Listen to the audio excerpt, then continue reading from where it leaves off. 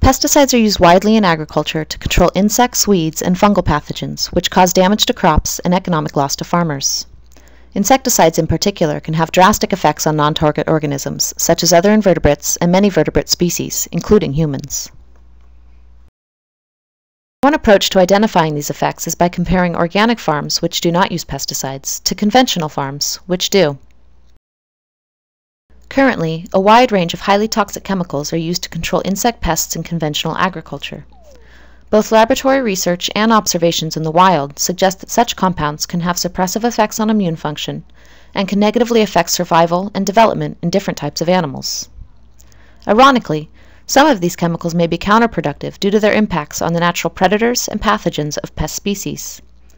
Many of these effects are underexplored, particularly with respect to the primary consumers of night-flying insects, bats.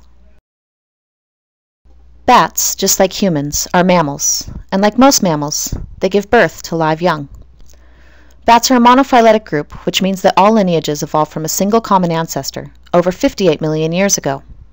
Bats are therefore a unique and special group in the animal kingdom. Did you know that between 20 and 25 percent of all mammal species are bats? This makes them the second most diverse order of mammals next to rodents. They are also the only mammals capable of true flight. Perhaps due to their ability to fly, bats are incredibly diverse and widespread.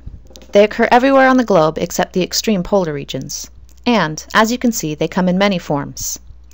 And while some bats may very well have faces that only a mother could love, such as this wrinkle-faced bat, others seem as though they were designed in a toy factory, such as these Honduran white bats.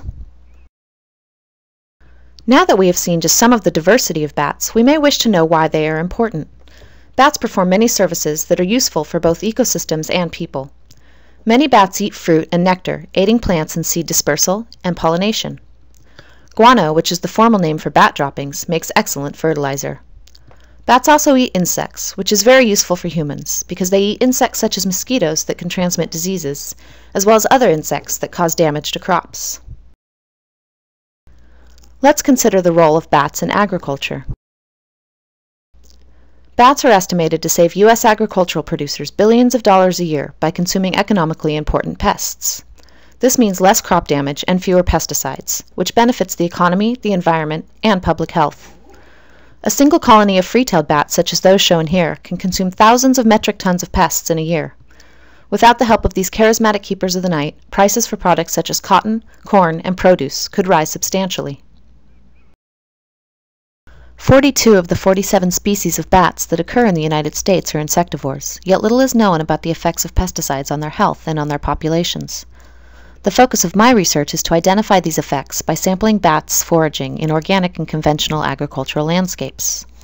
I will perform a series of assays to assess their health. I will monitor survival and reproduction by marking individuals and recapturing them later, and I will characterize their dietary diversity and composition from guano using molecular techniques.